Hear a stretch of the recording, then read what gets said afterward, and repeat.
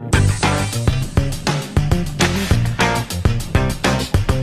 this is John Kohler at DiscountJuicers.com. Today we have another exciting episode for you. In this episode, we're going to go ahead and compare and review the all-new Power XL self-cleaning juicer. I've been getting asked about this juicer a lot, and everybody asks, John, what do you think of the Power XL? Well, you know, my basic response was, number one, it's a high-speed juicer. And as you guys know that watch me, I am not a fan of high-speed juicers. For some reasons, they're actually very good, but on others, in my opinion, they're very bad. And if you are into your health like I am, I would not even consider it, except if you have this one exception that would apply to you that we'll be sharing with you guys in a minute. So this is the Power XL juicer box. You may have seen an infomercial on it. It's being advertised a lot online and infomercials and whatnot, also being sold in many stores. There are different versions of it. I got the Power XL self-cleaning juicer. And uh, this is a juicing made simple, they say, and it says a self-cleaning feature. Easy cleanup, no messy filters. You know, so we're going to investigate if it is really, truly 100% self-cleaning.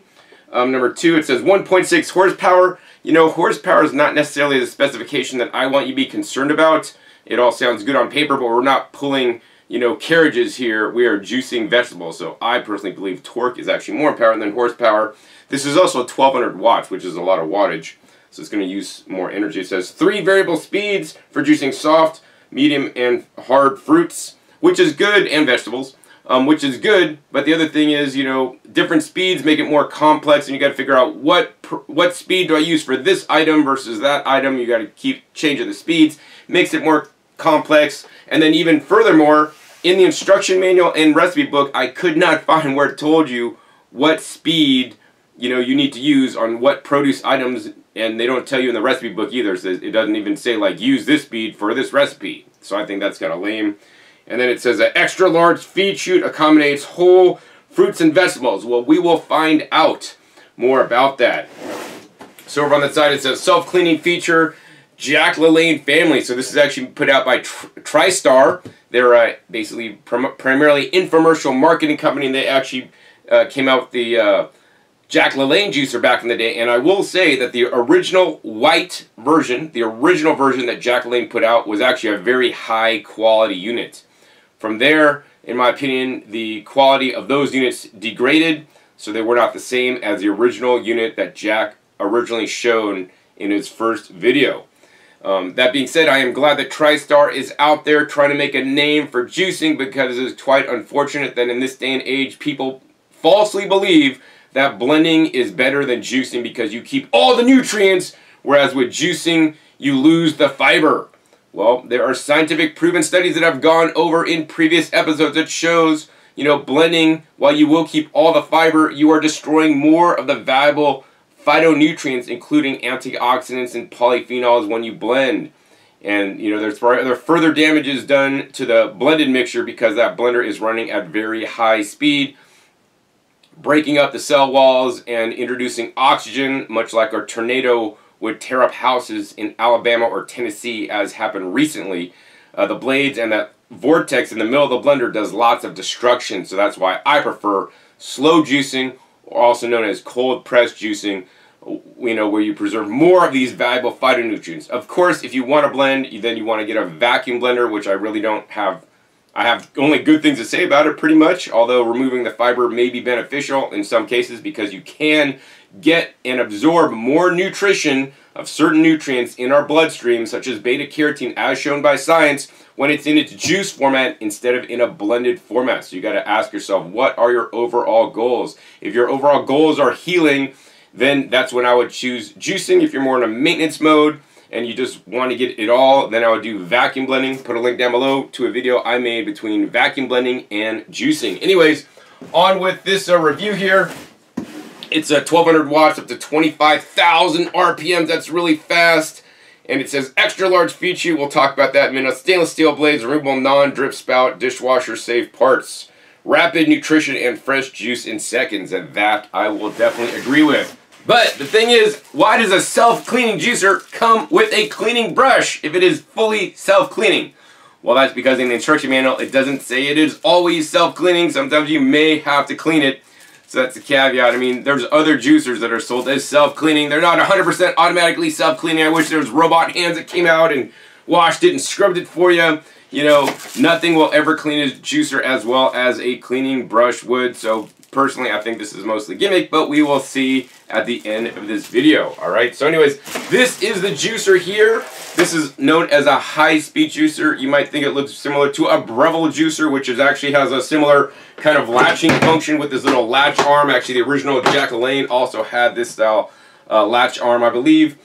And the other thing is, this is a high-speed machine. So this is like the, the simplest and most cheapest, cost-effective juicer to produce because it's basically a motor with a blade assembly and lots of lots of plastic. They run at high speed, and the main benefit to this style machine over all others is that it is fast. So what I'm going to say is this.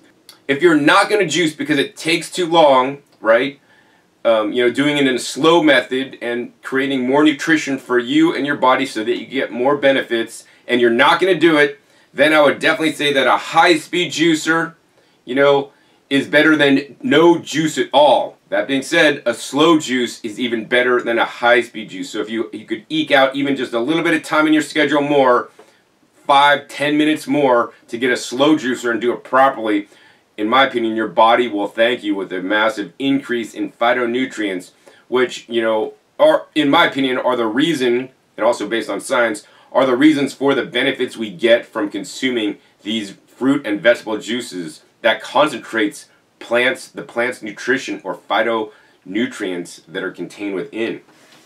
So the basic operation of this machine is that there's this latch. You can take off this cover, 100% all plastic. They do claim that it actually has an extra wide feature. Well, let's find this out right now. I have a tape measure, and the interesting thing about this machine, it actually has a flap. Most juicers don't have a flap to cover the top. I guess that's good for dust, but also may be important when you're feeding water through there because you may get some splashing. Um, and we're going to go ahead and measure this feed chute. This feed chute measures about um, 2.58, 2 inches and 5 eighths, 2 and 5 eighths inches. So that's a little bit over two and a half inches on how big this feed chute is. I don't, I would not call this extra wide because on the Breville juicer, it's a 3 inch wide feed chute. On the Kuvings EVO 820, it actually has a 3.2 inch wide feed chute. So this is actually a tiny feed chute. It's not going to even fit whole apples in like other juicers. I mean, it, it, it's deceiving because this is so large, but the hole is small. And in the bottom, they basically, you know, have this little step thing, which is kind of unique and innovative, which may be beneficial uh, during the juicing process. Now, the other thing, you know, there are some innovations in this machine that I, I respect and see, and I appreciate a lot. Number one are the fins in the back. For a lot of you guys, this may not mean anything, but the other thing to remember is that when this juicer's on, it's pushing a lot of air through there, and the air will go into the collection bin and normally not have a way to escape. what will happen is all the air will seep out the little cracks and seams of the um, you know collection bin. Sometimes pulp will fly, and so these juicers can be very messy. This has solved that issue by having a fins at the back so that some of the air comes out the back of the unit, which is impressive to me. So I like I do like that a lot. Oh, and then here's the uh, self-cleaning brush. So what happens is you press this little lever If you guys could see that, but there's a little lever here that has a silicone blade on it that I believe they give you a few extras. That when you're done juicing, you can fill this up with water, pour water through this, and pull this blade up and down. And it acts like you're basically pushing the brush on it, but there's no brush tips, it's just solid. So it's gonna like more scrape, like your windshield wiper scrapes. Your windshield wiper can't scrub, you know, bird poop that's ground in on your windshield off. It'll just scrape off the water. So that's what basically this will scrape off the screen when you're done.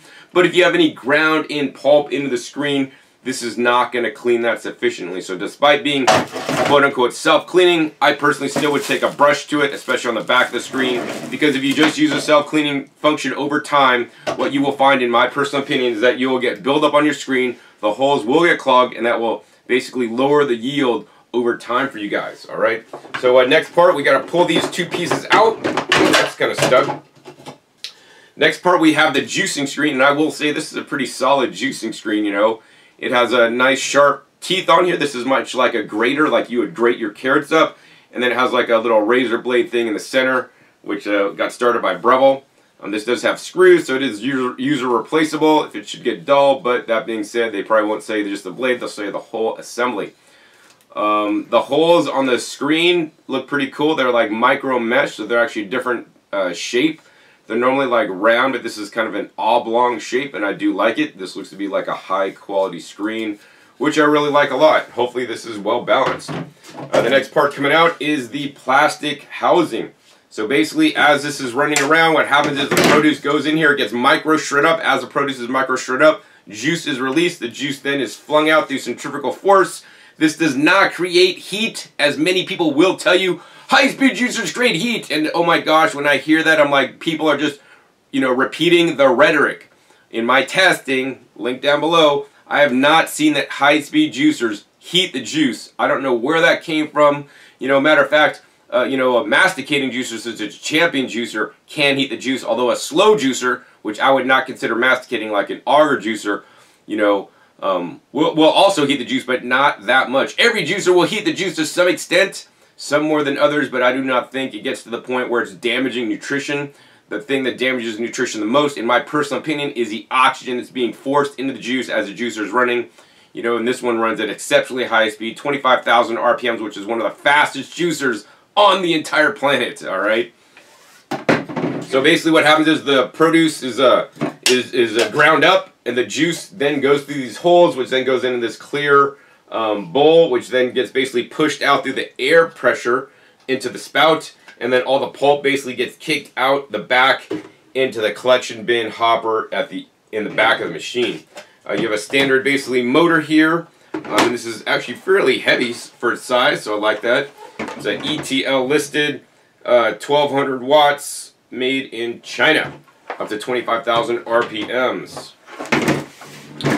And uh, let's see here. And then on the side here, you have uh, different uh, speeds. You have off, which is zero. Then you have the clean function. So if you're cleaning it, I suppose it runs at a slower speed so you don't like really mess up anything.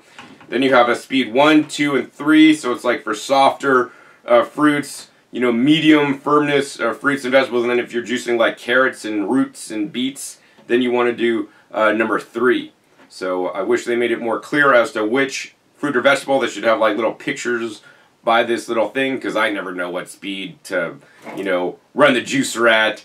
And if you don't run at the right speed, you may sacrifice some yield. That being said, you know, for softer produce items, um, you know, this juicer is not the most effective at getting the most yield. It will end up wasting a lot. But for things like carrots and beets, it actually does a fairly good job at getting a very high yield. Although, in my opinion, it's not the most high nutrition. All right. And then the other thing on this unit, there's a little cap on the spout, which actually comes off. It has a little two double O-ring system. So you could turn this when you're done so you prevent dripping on your counter, which I think is a nice feature, although this is a bit difficult to turn. Alright, so assembly on this unit is not that difficult. We're going to go ahead and put this down on there. Put the juicing screen in. Rotate that down. And then we're going to put this uh, top assembly on. It all locks into place very simply, very easily.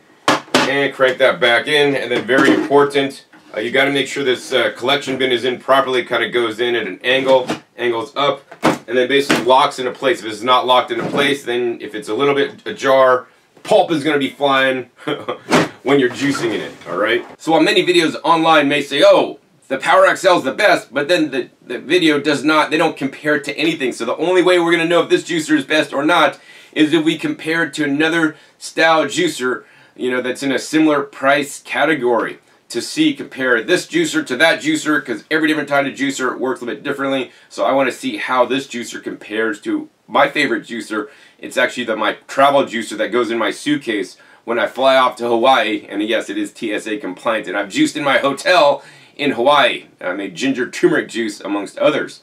So now I want to compare the Power XL juicer to the Shine juicer, which is actually my personal travel juicer. This goes in my luggage when I'm flying to Hawaii or you know taking a trip on an airplane. This is a TSA compliant. They won't want to open your bag up and see what it is because most people don't travel with their juicer.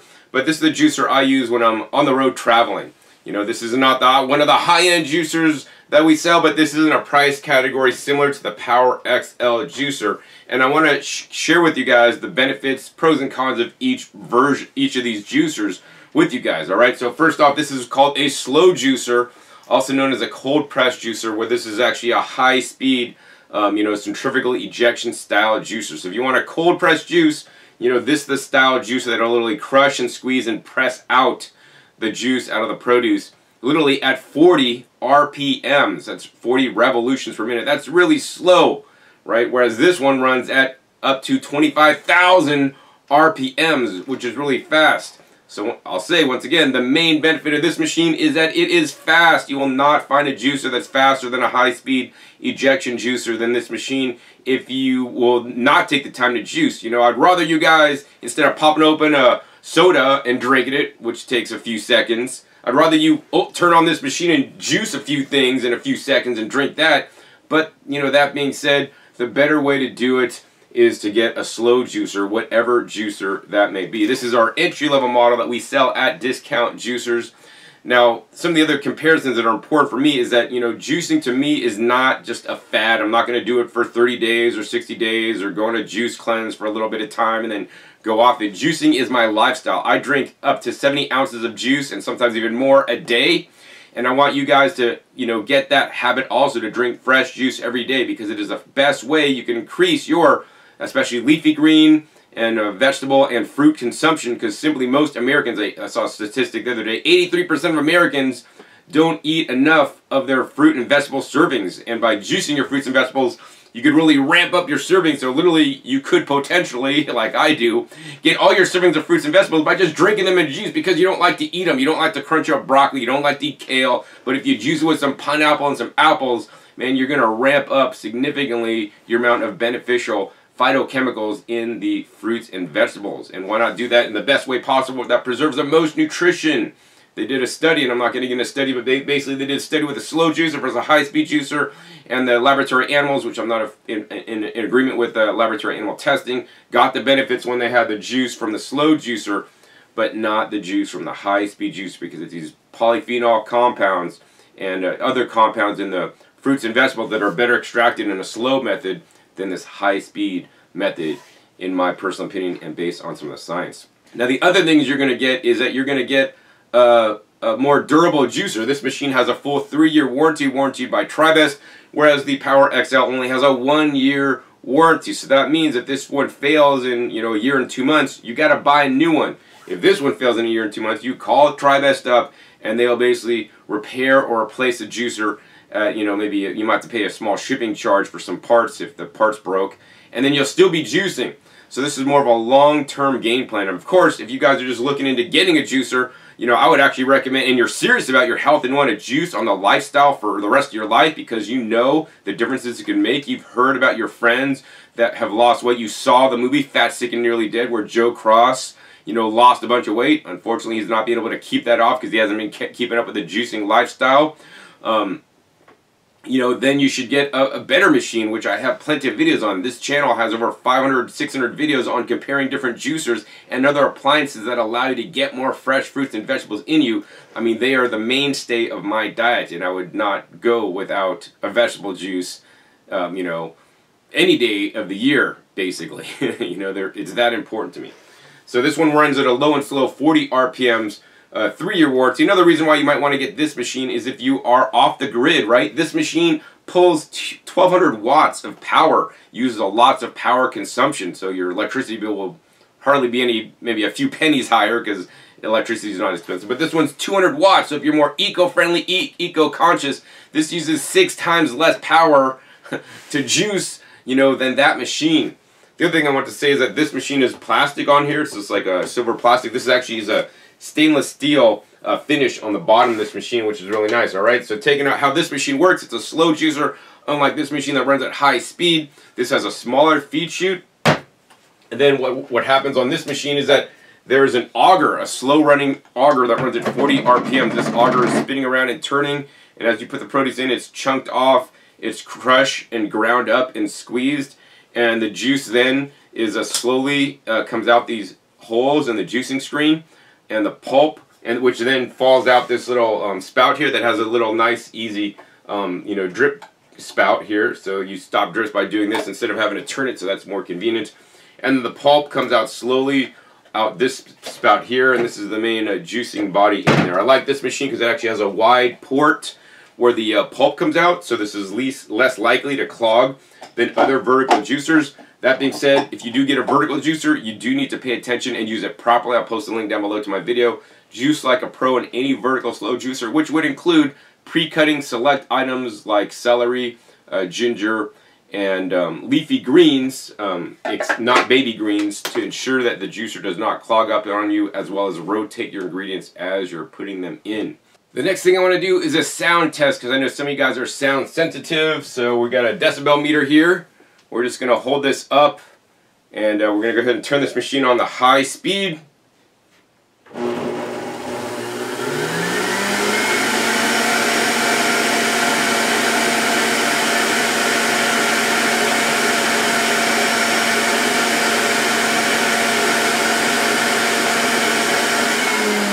Alright, so right next to the machine, I don't know if you guys can see that on the camera, but it was basically reading like 79.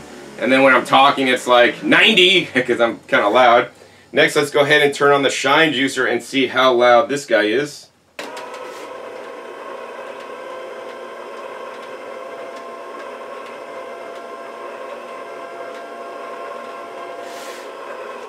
So it's fluctuating between 68, uh, 66 to 68 right around there. So that is significantly quieter than this machine. You know, uh, people in the past have described to me that a high-speed juicer sounds like an airplane taking off in their kitchen. And why is this important? Well, I know some of you guys, like my ex-girlfriend, was actually sound sensitive. So anytime I'm loud, you'd be like, ah! Um, but more importantly, you know, some of you guys want to juice in the morning when your roommates or family are asleep. And this one will, will likely wake them up. Whereas you could probably do this, you know, without waking up you know, your neighbors or your family in the morning so that you guys can drink your fresh juice and not be inconvenienced by the noisiness of a high-speed juicer. Um, other than that, I think, you know, the main things about these machines are that it's a slow and high-speed machine. I'm a big fan of the slow machines, not of the high-speed machines. I started out with a high-speed machine, but if I knew now what, what I thought I, I didn't know then, I would have totally just went for a slow juicer at that point. That being said, when I got in involved with juicing, we didn't have all these cool vertical slow juicers that we have today. I like the vertical style slow juicer the most because they're the most versatile if you want to juice a wide variety of things without focusing on any specific kind of fruit or vegetable. Now, if you do want to focus on a specific kind of fruit or vegetable, please check my other videos because I have juicers a juicer for every different kind of produce item. And trust me, I've juiced more different kinds of produce items than most people on the planet, in my personal opinion. Okay, so the next thing I want to do, we're going to go ahead and get into a raw comparison. We're going to juice even amounts of produce in both machines. So first, we're going to come back and do a weigh-in to make sure we have a fair fight. Alright, so now we're all ready and set up to juice in both juicers. The first step is to make sure we have a fair fight, and we're going to go ahead and do a weigh-in of the organic cucumbers, organic apples, organic ginger, organic lime, and pineapple. So there is all the produce, and let's go ahead over on the shine side. Looks like we got 1360 on the scale. Over on the Power XL juicer side, once again, looks like we got 1360 on the scale as well. And we'll go ahead and get a shot of both scales so you guys can see clearly that it's 1360 on both scales. So now that you guys saw we have a fair weigh-in, let's go ahead and move these scales off to the side here and let's get juicing. So the other thing I love to do in my comparisons is always uh, do a time test so you guys can see how long it takes to juice the uh, same exact items um, in each juicer. So today we'll be juicing in the Power XL juicer. First, I'll be using Speed 2 since these are like some fruits and whatnot. We're going to hit and start, and we're going to go ahead and juice in the juicer. Now, we will need to use the pusher, which actually has a unique kind of gripper design which I haven't seen before. And then at the end, of course, we're going to try to do that self-cleaning function. Um, uh, because some of these items are larger than the feed chute, we will have to pre-cut them, so that'll be taken up you know, in the time because I'll also be doing that with the shine. So in any case, let's go ahead and hit the start button here. And let's go ahead and turn on speed 2 and let's get juicing.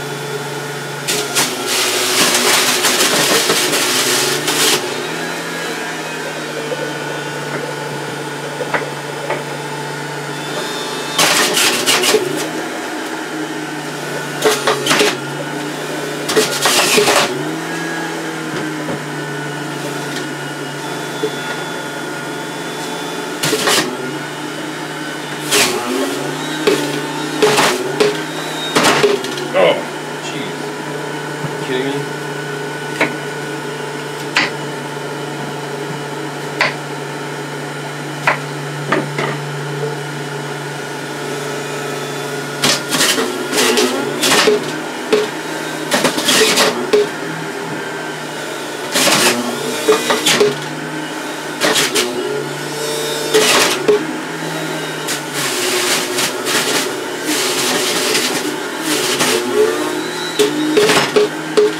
Alright, so we pretty much uh, got done juicing in the um, Power XL juicer.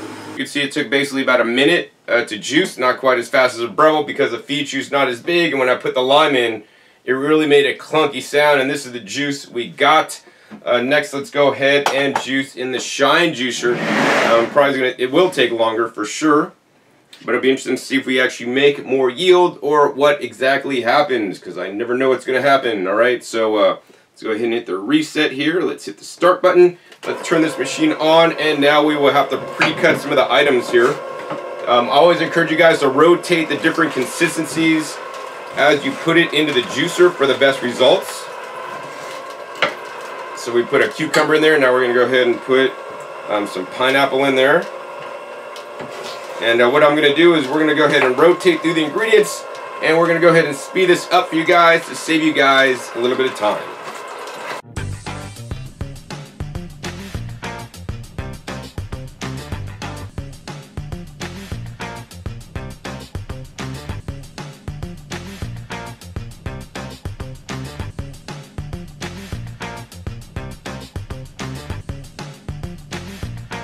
Alright, so we're just about done juicing in the Shine juicer. So the slow process is taking almost four times as long. We're almost at four minutes. Uh, we got the last piece of pineapple going in the machine. Most important thing when you're juicing in a slow juicer is take your time. You try to start using the pusher and cramming things in there faster to make it go faster. You know, you could put excess stress on the screen. You could cause screen breakage. And also that's going to cause your yield to go down because you're trying to get things through the juicer faster than it can accept it. One of the things I love about the slow juicer, I can just worry about cutting things up and I can drop it in and it's going to juice it at its own pace. So I don't have to sit there and use the pusher, you know, to get the juice out. And once you put that final produce item in the machine, you want to let it run a little bit longer until the pulp stops flowing out of the machine, which it looks like. One of the tips I like to use also is just we'll hit it reverse for a second and then hit it back to forward and see if we get any more juice out. Looks like we're pretty much done, so we'll go ahead and hit stop. So that took uh, 4 minutes and 38 seconds. So that's like what? It took like uh, three and a half minutes longer. And so for the extra three and a half minutes that you invested in your health, is it worth it? Well, let's find out when we do this comparison to see how much juice each juicer made right now. So the first tip is always on the juicers, I like to tip them up. So on the Shine, we're tipping it up to get all the drips out. Over on the Power XL, we'll tip this guy up, see if there's any juice left over. And yes, of course, there is some juice left over. And then we're going to go ahead and turn this spout cap up. let's see, uh, that's a little bit difficult to turn up here. And let, next, let's go ahead and put these juices up front and center and do a close-up on the yields. All right, let's go ahead and give you guys a close-up on the juices over on the Power XL side. This is really hard to read because, I mean, there's definitely separation and we got up to uh, basically um, almost 500 milliliter and then it separates really bad into like a foam separation layer. And that layer goes up to I'd say a little bit below 900 maybe like 890 and then at the rest we just basically got straight up foam foam. You guys can see the difference in the foam layers. Um, so I'd say a little bit maybe 890 was the overall yield not counting the foam. The foam is basically uh, juice that has air, been aerated so we want to kind of minimize the foam because that's that's uh, lower nutrition. Also, if you guys denote the color on that juice, it's a lot lighter in color. If we go over to the Shine juicer, look at that juice difference. You guys see the difference in that? My camera?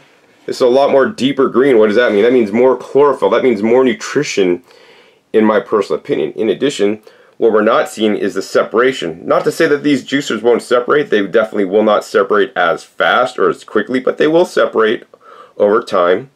Um, but the high-speed juicers tend to separate more quickly due to the air being injected.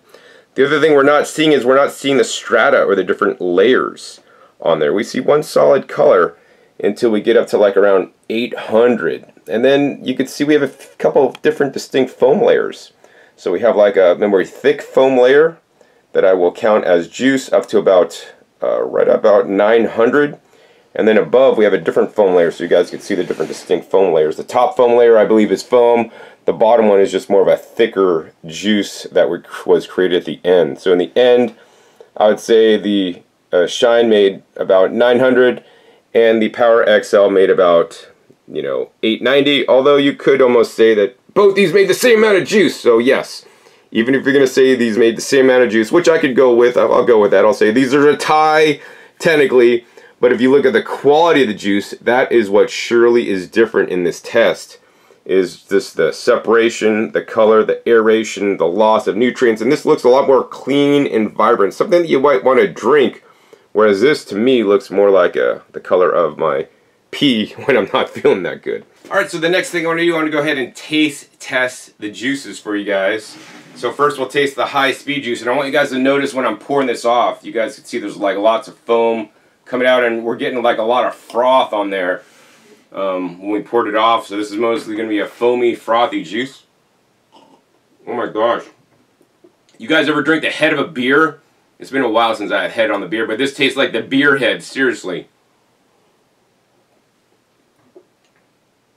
Solid aeration, although I will say that's a good recipe. this is all basically foam bubbles. Let's go ahead and try to pour off the shine juice we have a lot more juice. Yeah, I mean, there's a little bit of foam. I'm not going to say there's no foam. All juicers will produce some level of foam unless you use a vacuum blender to make your juice. Well, then there's still very little foam. So we're going to go ahead and try this juice next. Wow. Oh my gosh. That's pretty different. So I'm really tasting the lime a lot more in this juice as well as the ginger. Whereas this juice it was like more muted. Um, you know, uh, the slow juicer is much more effective at grinding up and extracting out nutrients um, from the produce, in my opinion, besides just the water that's coming out through the juicing stream due to the juicing process. This has also been shown in science. So between the taste test of these two juices, I would definitely have to say the Shine Juicer wins by a long shot, unless you like more watered down juices, you know, or ones that are more foamy in my personal opinion.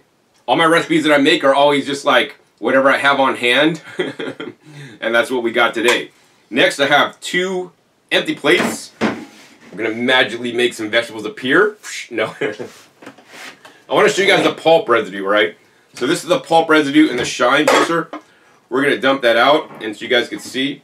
I'm not going to claim it's fully dry because it's not fully dry. There is some, some wetness in there. If you wanted, you could actually take this pulp and feed it back through the juicer. It'll wring a bit more out. Next, over on the Power XL, you can see all the pulp that's like sitting in here. And so we're going to scrape some of this out because I want to show you guys what it looks like. So in addition to the pulp that was inside the machine, we got a whole pulp bin. And we're going to dump this pulp bin out too. And that's what we got inside there. Let's go ahead and reassemble this juicer back. It's uh, a fair bit messy. But it's self-cleaning, so we're going to see how that works in a second. Now I want you guys to compare the differences. I mean, it doesn't take a rocket science to see that there's a major difference between these pulps. I mean, number one, if we start going through this pulp, you know, that lime, this lime looks like it was reamed out on a reamer. The middle is pretty much empty, but you got the whole rind. This did not even get juice. That means you are missing some of the antioxidants, the vitamin C, the hesperidin, the rutin, the bioflavonoids in this white rind that has basically completely been ground up and put into the pulp there. In addition, if we look through this pulp, you can see, I mean, here's whole pieces of apple skins that went through the uh, Power XL. This will happen on all high-speed machines where it'll spit out whole chunks of produce, but they're not going to tell this on the infomercial. Whereas, you know, on the Shine Juicer, look, that um, the, the peel was basically fragmented into little pieces. Now, it's not micro granules or anything like that, but, you know, it's a lot smaller. And what people don't tell you is that actually a lot of the nutrition and anti-cancer benefit are actually found in the skin of the apples. And when you're not getting them ground up the juice cannot come out of them. The nutrients cannot be released into your juice. In addition, we could go, look, we got a whole slice of the cucumber. You could use this stuff on your salad if you wanted. Off on this side, I mean, you're not going to find any piece of the cucumber. This is designed so that it grinds up things. I mean, we're going to find, you know, wet pieces, which is basically what was the cucumber, which is still a bit wet. Um, but we're not going to find whole chunks. Let's see, I want to find some of that ginger in there. Oh wait, is this the ginger here? Or is that the pineapple?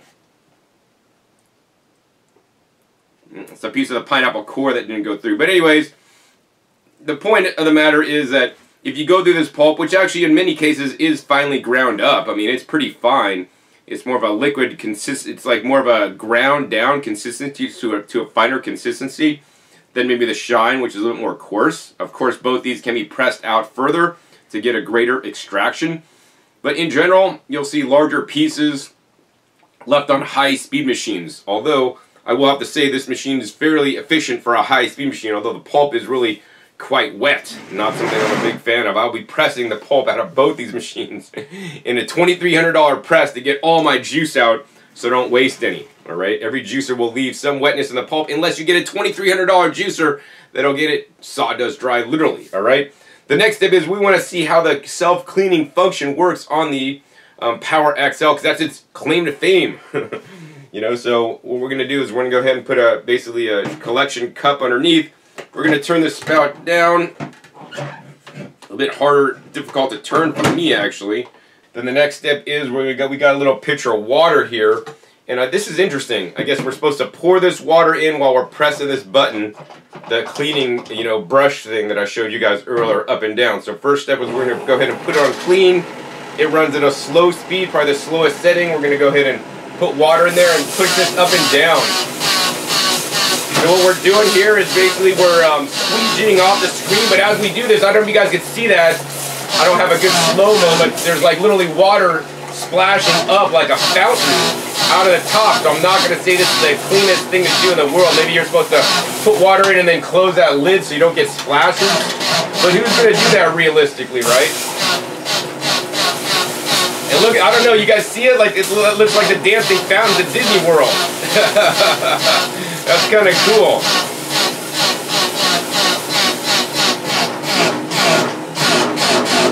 Alright, so there's all the water. And it sounds like it's literally grinding the screen when I'm hitting that on there. So let's go ahead and turn that off. I showed you guys what it looked like when we took it apart at the end. And you know, there's still a lot of pulp in there. Let's see if this really self-cleaned or not. Close that little top. Pull that down. And let's take a look. Inside here, does that look clean to you guys? It looks like there's still a lot of pulp in there. And then I'm going to have to clean it manually myself, and this did not automatically self-clean as it's portrayed. It makes a good tagline, but in reality, man, I still got to clean that stuff. So now this is just an extra kind of step. You know, the next thing is, let's go ahead and see how it cleaned the screen. Did it clean the screen off effectively so that I don't have to use that cleaning brush? And actually, this is a little bit hard to take off there. So here's the, the, the screen. While I did remove some of the pulp out of the screen, I don't know if you guys can see the back of the screen. There are little fibrous hairs. This is likely from the ginger or the pineapple that are stuck in the screen. And by merely brushing off the screen with like a, a squeegee, it's not going to get the ground in stuff off of it. So I will say that this is a self-cleaning fail in my personal opinion. Although some of you guys might not clean things well, and to you this might be clean, to me this still requires you know, significant scrubbing with the included brush or other cleaning brush. In addition, if we take this out, I don't know how you're going to clean all this stuff underneath the rim of the uh, juicing screen by just simply pouring water in it so it self-cleans. So, you know, I'd say that it's self-cleaning is a stretch. Um, you know, this still will require a solid cleaning in my book. So at the end of this episode, what did we learn? Is the Power XL that great juicer that you've seen on that infomercial or in advertising online? You know, I'd say, hey, it's a juicer and it works, and some juicer is better than no juicer, so you can get the fresh fruit and vegetable juices in you. That being said, I have found some deficiencies personally, such as it's not fully self-cleaning as I would believe it to be when you read self-cleaning, number one. Number two, it's also a high-speed juicer that basically will separate out your juice like this, leave a lots of foam, and not extract all the nutrients you know, that are in like things like rinds that in this case basically came out whole without getting juiced. This is not a surprise, but I kind of knew that this was going to happen because I've tested other high-speed machines because this is basically just another high-speed machine, whether you get this brand, a Breville, or another different high-speed model that has a self-cleaning option because it is available on a few other high-speed machines. They all work in the same manner at this time from what I am aware. Um, you know, I would much rather go with a slow juicer. You know, the Shine Juicer is an excellent entry-level model for those of you guys that aren't super serious about doing this for the rest of your life. If you guys are serious about juicing for the rest of your life, I would recommend getting a higher end model that has even a 15 year warranty, 10 to 15 year warranty. Be sure to check my YouTube. Be sure to check my YouTube channel for videos on high end juicers. But the slow juicers, they don't separate your juice. They make a much richer, deeper, darker, more nutritious juice, in my opinion, uh, in terms of the polyphenols and antioxidant compounds that are easily oxidized when a machine is running at up to 25,000 RPMs. So at the end of this episode, although the yield maybe was a tie, I'm going to give this to the Shine Juicer, made a higher quality juice. It's going to be, you know, you still got to clean it, but there's a lot less parts and a lot less, uh, you know, parts and screen to clean on here. You know, a lot less screen area than all these things coming out the back. And you got the auger there. Super simple, super easy to clean. Wipe that down. All my pulp gets composted um, to get clean. And then inside this little bowl here, I mean, it's basically almost cleaned itself. so uh, I got to clean both these guys up. If you guys are looking for a juicer, I would recommend you guys purchase the Shine Juicer instead of the Power XL. Link is down below. First comment in the comment section, also in the description. Also, if you like this video, hey, please be sure to give this video a thumbs up. And also, please be sure to share this video with somebody else that may be considering the Power XL juicer so they, they could learn the truth and the differences between these two different machines and why the only reason why you'd want to get the Power XL is if you won't juice any other way. Once again, it only took three and a half more minutes to juice in this machine. So is your health worth three and a half minutes to be done three and a half minutes later. The cleaning time I would estimate approximately the same time because there's a lot of surface area on this and the you know the juice catch container has nice deep pockets in there. And I mean this container is basically almost clean as it is all right?